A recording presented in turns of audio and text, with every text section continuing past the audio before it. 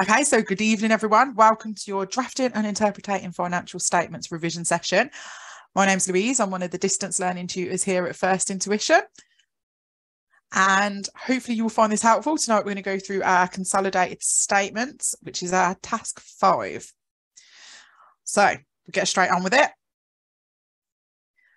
Some of you, I think, will have done this before. Those of you who haven't, if you've got any questions, pop them in the chat box. I'll do my best to answer them. And I'll try not to go too quickly. I know this is a bit of a learning curve. Okay. So Bills acquired 80% of the share capital. Oh, get that in the right place. Sorry. Put that over there so I can see you. Sorry, I just need to be able to see the chat. Um, so, Bills acquired 80% of the share capital of Moons on the 1st of January 2004 for, two, for £420,000. At that date, Moons had issued ordinary share capital of £100,000 and retained earnings were £260,000. Shown below are the statements of financial positions for the two companies as at the 31st of December 2004, and additional information is shown below. In this task, in your task five, you may get a consolidated profit and loss, you may get a consolidated statement of financial position, or you might get both. Something to know is if you only get one, there's going to be more adjustments because the task needs to have enough content for you to be able to pick up the marks. If you get both, there'll be less adjustments. It's really that simple. So the first things we need to know in this task are who are the parent and who's a subsidiary. Really important. We do not get these mixed up. So Bills acquired 80% of the capital of Moons. So Bills are our parent and Moons are our subsidiary. Okay. Also note that there's always going to be a portion that they haven't brought. So Bills acquired 80% of the share capital of Moons. So there's 20% that they didn't acquire. That's always going to be the case. It, the percentage will vary, but they're never going to have just brought all of it. There's always going to be a portion left over. Okay. The reason for that is that is the non-controlling interest. And that's something that AAT want to test in your financial statements unit. Okay. We also need to make note of the date that they brought it. So they brought it on the 1st of January 2004. This is the date of acquisition. Really important that you don't get this mixed up with the date that we're preparing the financial statements as of the 31st of December. Now, this is all over one period, but you might find that they purchased it on the 1st of January 2004, but we're doing the, the uh, December accounts for 2007. Doesn't really matter, but always make note of the dates. Try, don't get them mixed up. Worth putting them on your piece of paper so you don't have to keep scrolling back up and down. Okay. So we're going to be asked to calculate some things. Let's have a look. What have we got here? We've got non-controlling interest, goodwill, and retained earnings. And then we've got some working boxes for these as well. Okay.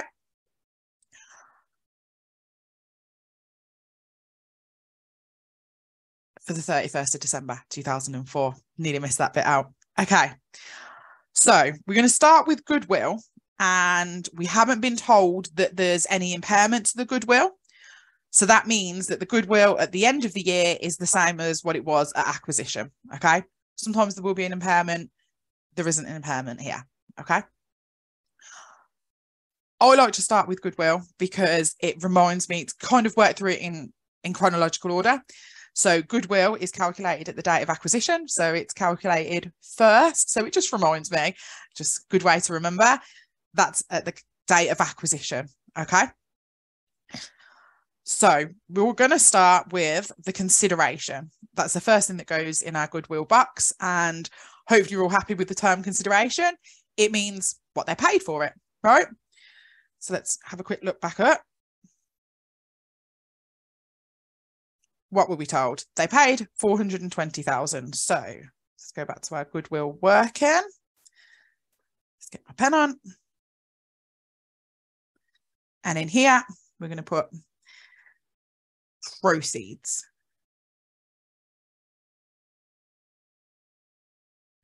And that is 420. Really important thing here. Remember that we're working in thousands. I see so many students lose so many marks because in here they might have got 420, 0, 0, 0. And it, it does show us, just check. It's just really important. You could get all of your calculations correct, but if you do not write it as of the thousands or whatever it may be that they've asked you to write it as, you're going to lose the mark. So just double check that. Okay.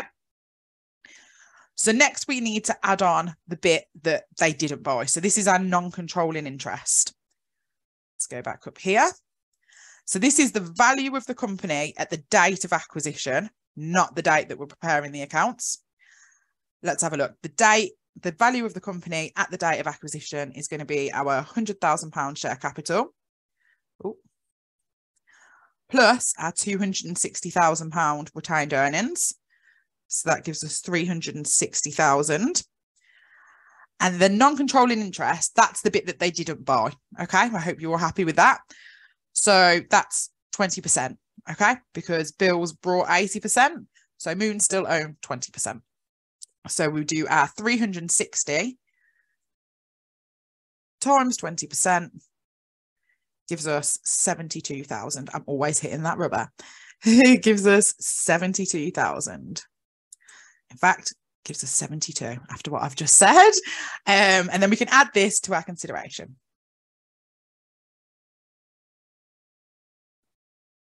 So NCI.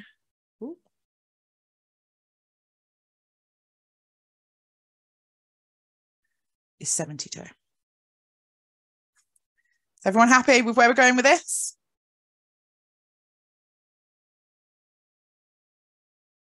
Yep.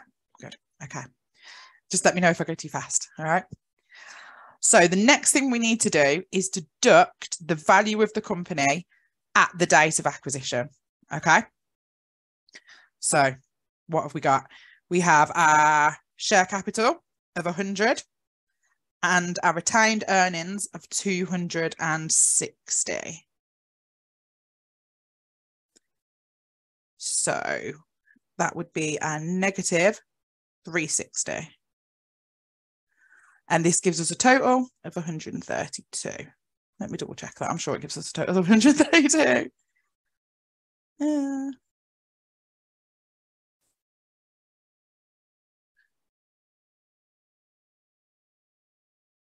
Sorry. Too many screens here.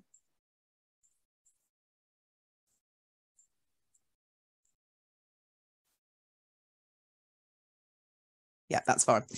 Okay. So next, well, actually, before we move on, I just want to say if we did have an impairment, if there was an impairment to goodwill, that would go here. That would you would put another line underneath here and you would deduct the impairment. Okay. There is no impairment here, but just so you're aware, this you would put it in this goodwill box. Okay. So next we've got our NCI and non-controlling interest. And we prepare this using the date that we're preparing the accounts for, which is our December date. Okay. So we know that the shares haven't changed. Let's go back up and have a quick look.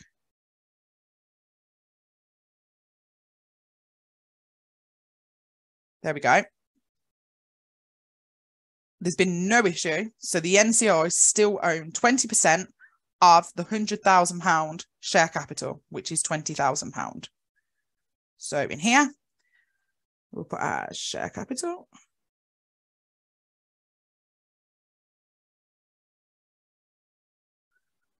Of 20.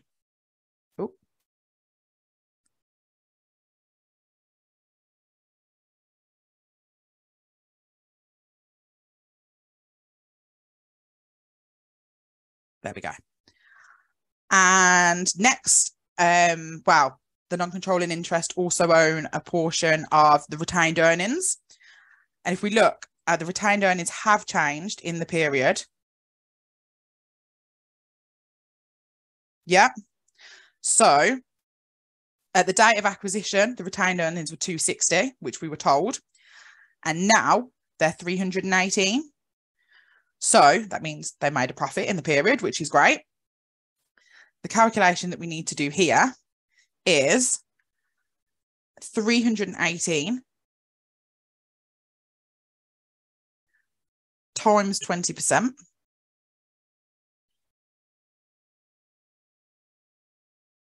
And that gives us 63.6. Oh, that blooming rubber. 63.6. Okay. Giving us a total of 83.6. I don't need the calculator for that.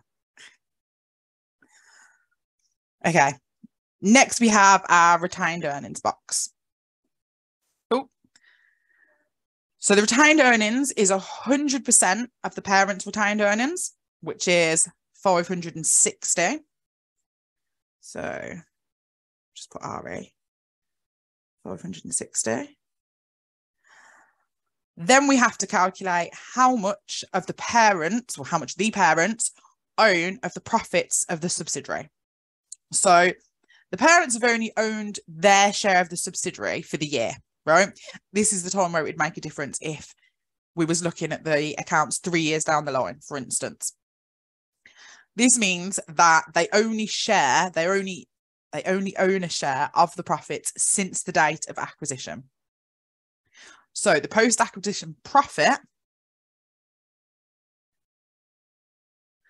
that's going to be our, scroll back up. okay. Post acquisition profit is going to be the 318, which is what the parents had before, at December 2004. Sorry, that's what they've got now, minus the 260, which is what they had at acquisition. And that gives us 58. However, they don't actually own all of that, do they? They only own 80% because they didn't buy it all. So we times it by 80%. Get my calculator real quick.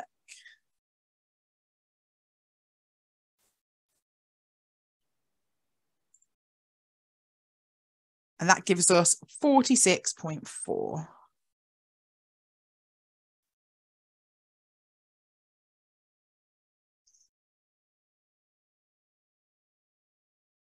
So the total here will be a 606. Four. Everyone happy?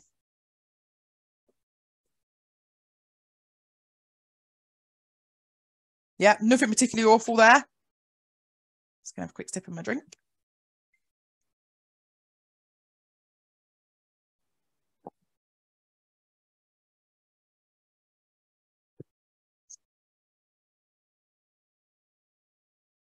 You're not 100% sure on the non-controlling interest. Okay, let's find our non-controlling interest. So our non-controlling interest is the share capital that stays at 20 because it hasn't changed. Okay. The NCI, they own, well, start from the beginning. The NCI, the chain, the shares haven't changed. There's been no issues of shares during the period. So that means that the NCI still own 20% of the 100,000 that they had at the beginning of the period. Okay. If we go back up here, you can see. Okay. So that would be 20,000, which is what we've put in here. Right, what have I done with my pen? There it is. Okay, so that's the 20,000 that we've put in here. The NCI also own a portion of the retained earnings, and these have changed in the period.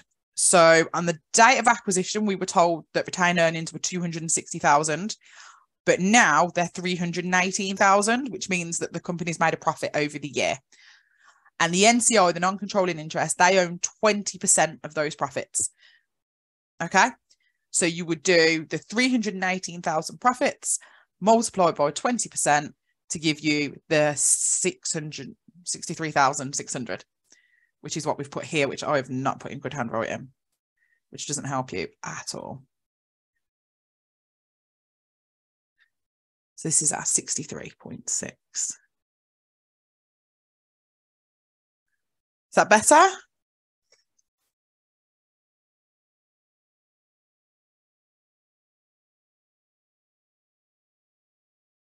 I'll keep going, but if you have any more questions, I can come back to it a bit later. Okay.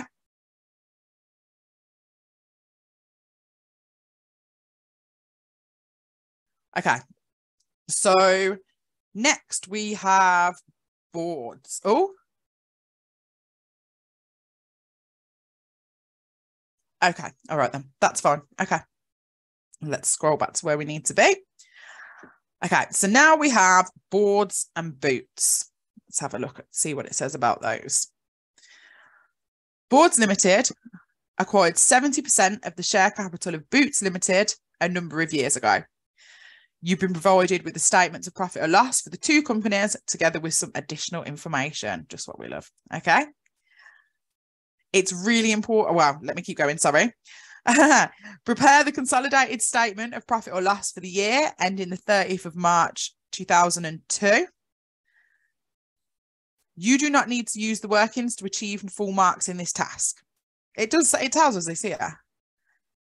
However, if you use these working boxes down here for your revenue, your cost of sales, and your inventory, and you say you get the first two lines, you put something here and you put something here and they're correct, but you add it up wrong, and the number you put here is incorrect, and you take this incorrect number and put it up here, you wouldn't get the mark here because you've got it incorrect. However, if the examiner can see that down here what you put was correct or you was calculating it in the correct way and you just made a mistake down here, you can still get marks for that. So highly recommend it is worth using these working boxes. Plus it just stops you getting mixed up. Some of these things, like you, you know, you might be able to just do the calculations in your head. You might think it's quicker, but by writing them down and seeing them in front of you, you're less likely to make mistakes. Plus, if you do make a mistake, you have those chances of picking up more marks in the working boxes. So I really highly recommend that you use them. Okay.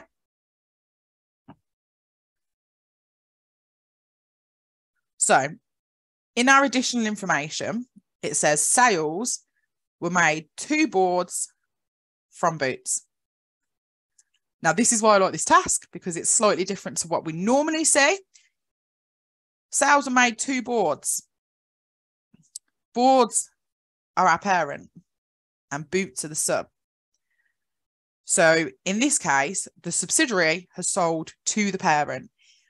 Really, really, really important that you notice that.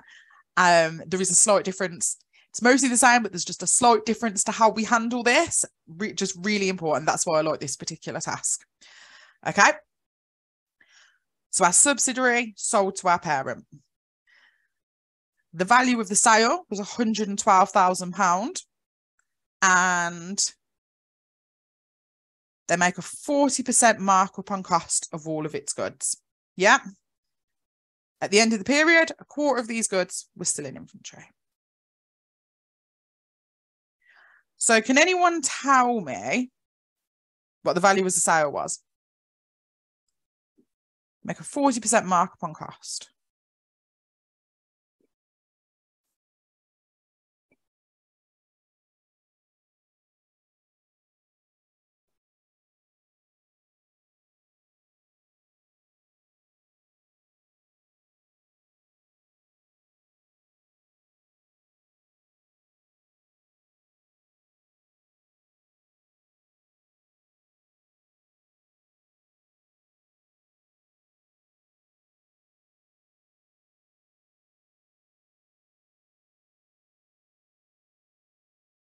That's right, 156,800. Okay. At the end of the period, we know now that a quarter of the goods were still in inventory.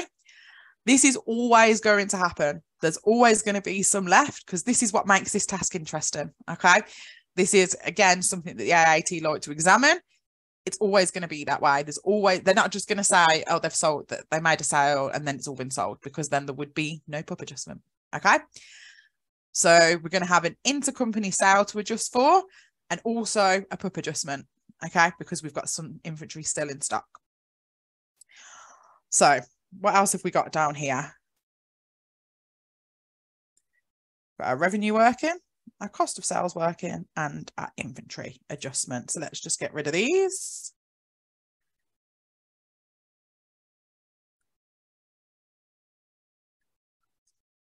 Right, so kind of makes sense to start with the inventory working because you can't do cost of sales until you've got your inventory calculation. So our sales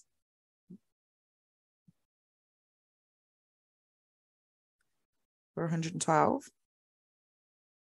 Yep. And our cost of sales, we know would have been our 156,000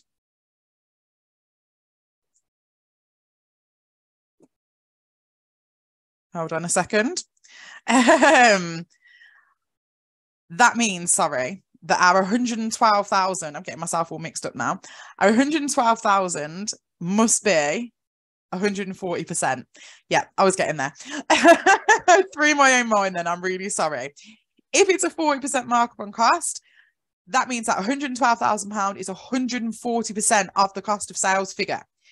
So the way I like to work this out is to do the £112,000 divided by 140 to get 1%, and then times it back up again by 100 to get 100%. Okay, so let's do uh, £112,000 divided by 140 times by 100 gives us 80,000. Okay. So cost of sales is 80. Ooh.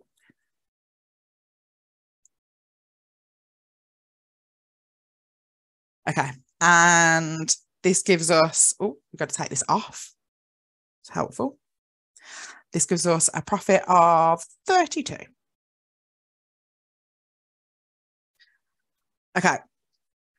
Now what we need to show is the cost of these goods to the group. And we want to know what the cost was when they came into the group. What we don't want is to end up with an issue where one company sells to another company for a higher price. Then that other company sells back to the first company for an even higher price.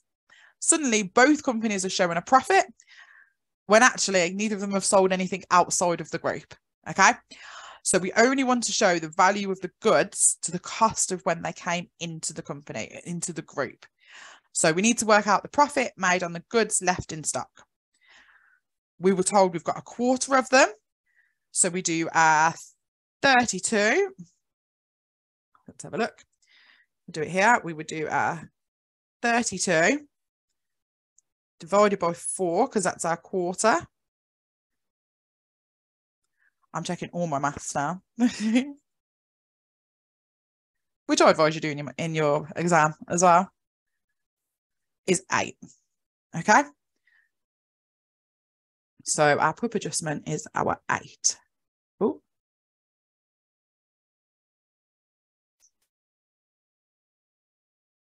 So next we're going to do our cost of sales.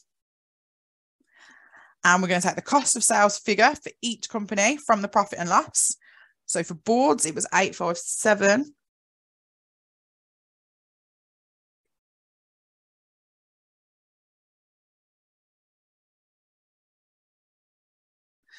And for boots, it was 118.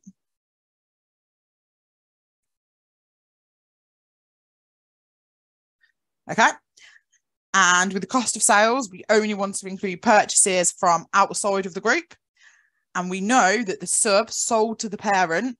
So that means in the parent's purchases figure, there's £112,000 that was paid to the sub. Okay. So in our cost of sales working box, we need to do our intercompany sales.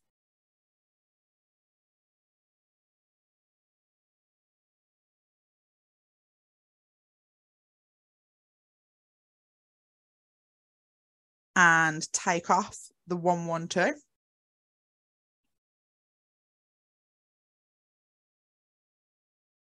Oh, what's really important to know here that it wouldn't have mattered if the parent sold to the sub or the sub sold to the parent. We still need to take the purchase price out of the cost of sales calculation. Okay. And next we would add our PUP, which was at eight. And we just add all that up.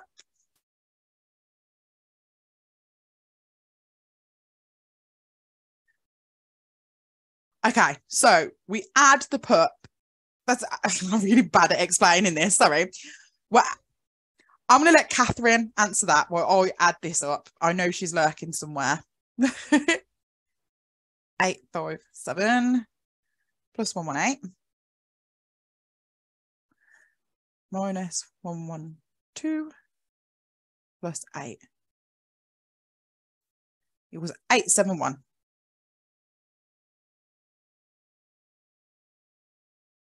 Catherine will be with you in a minute, Andrea. Oh, where was we? 871. Okay.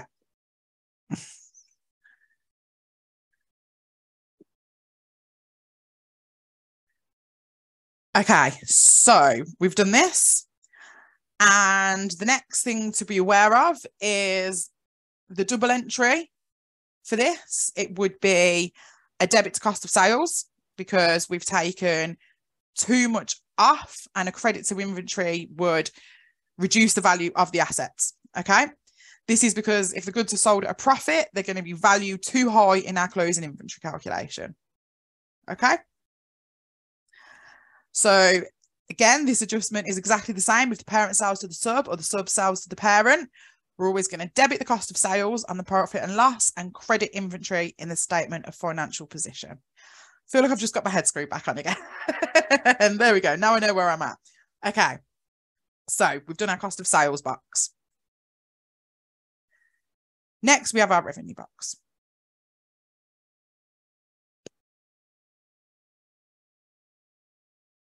Thanks, Catherine. Lost my head for a second there. so, revenue workings. Anyway, in the revenue box, we have our revenue for boards. Oh.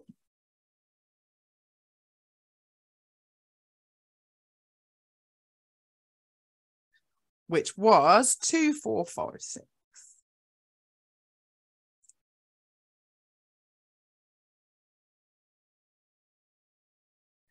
And our revenue for boots, which was a 712.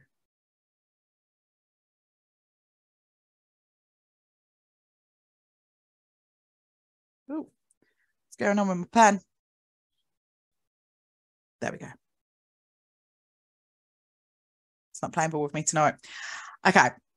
So again, in the revenue calculation, we only want to sell, show sales that have been made to third parties. So we don't want to show the intercompany sales because this would be inflating the sales of the group. So again, in our revenue box, this we have to put our intercompany sales.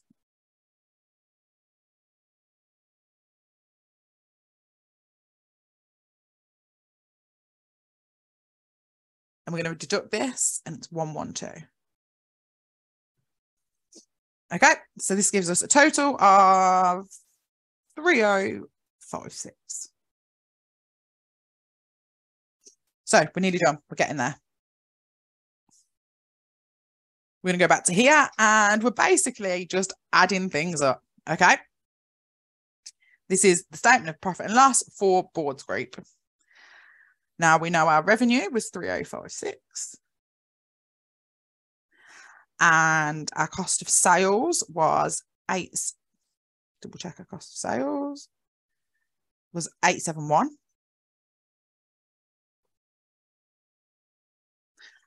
and our gross profit will be our 3056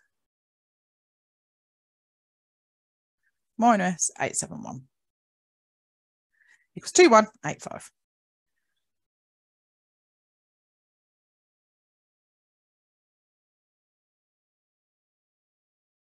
Okay. Next, we have our distribution costs, which let me got it up over here as well. Next, we have our distribution cost, which was our 455. And our admin expenses, which was 190. And that gives us an operating profit of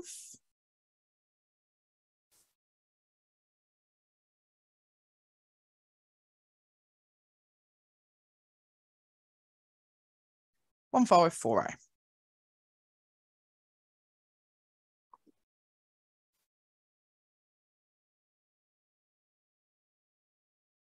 Okay, and our finance cost then was, where's our finance cost gone? 85.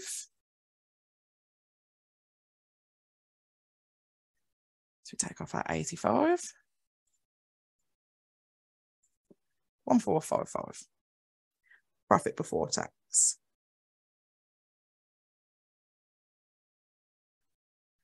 And next we've got our tax amount, which was our 438. Which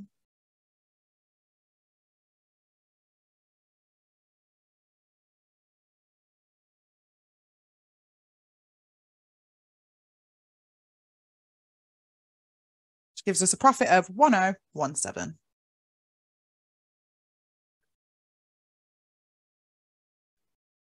And the very last thing that we need to do then is to split this profit between the owners of the parent and the non-controlling interest. Okay. So this is where we need to be really careful with the PUP. This is where it does differ if the sub sold to the parent and the parent sold to the put to the sub. Sorry. So because the sub sold to the parent, that means the profit is sitting in the sub's accounts, right? And if the profit is sitting in the subs accounts, the subs need to take their share of the PUP adjustment, right? Our subsidiary needs to take their share of the PUP adjustment. The non controlling interest, they will get 30% of the subsidiary's profit, but we need to take off the PUP. So we have our 313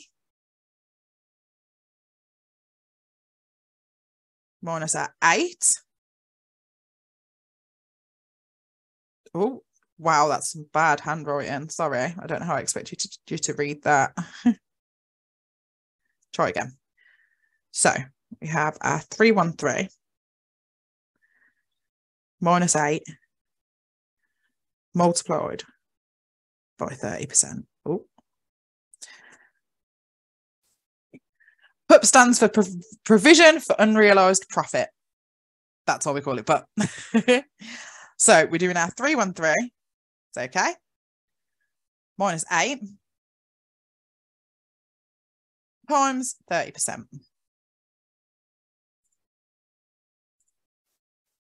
Which gives us 9150.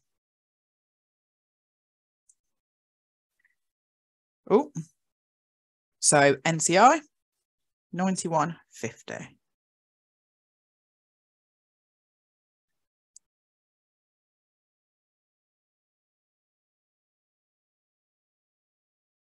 Yeah.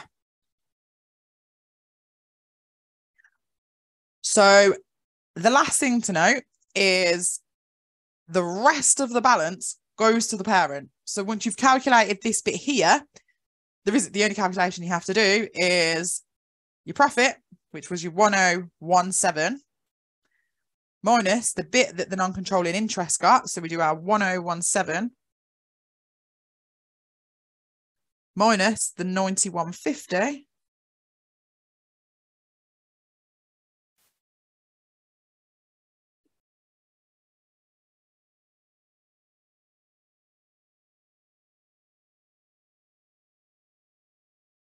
95.50 and that goes to the parent.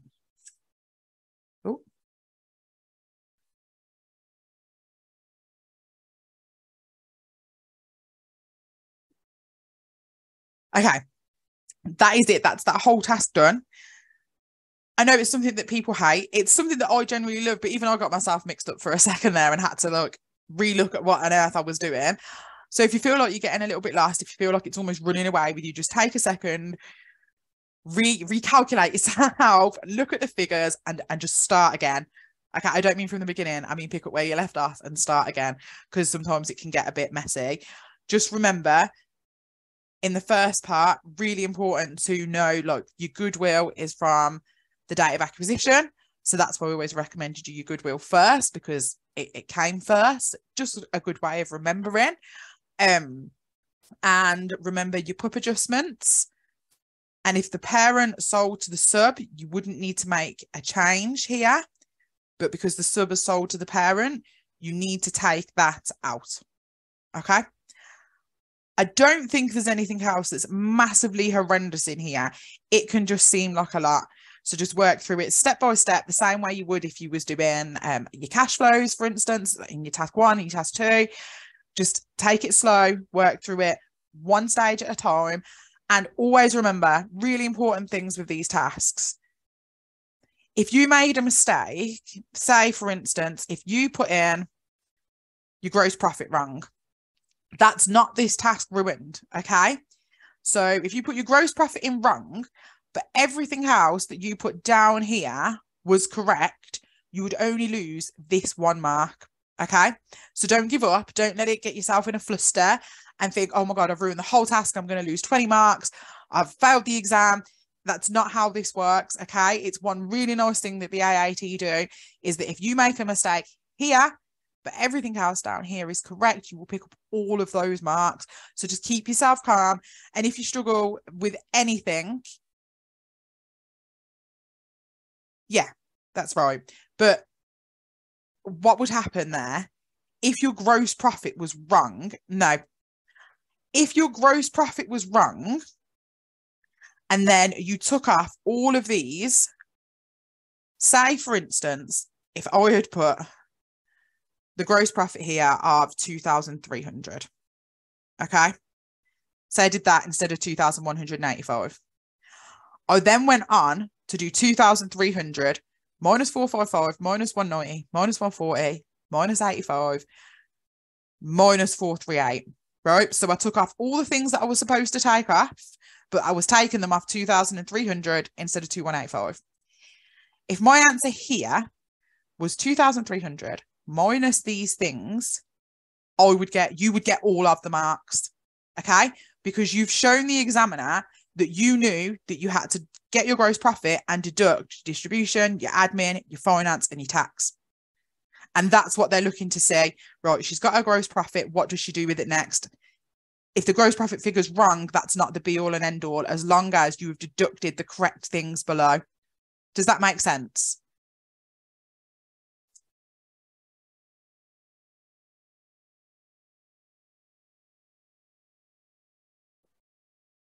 Good. Okay. So I'm going to stop the recording now and then I'll talk a bit more.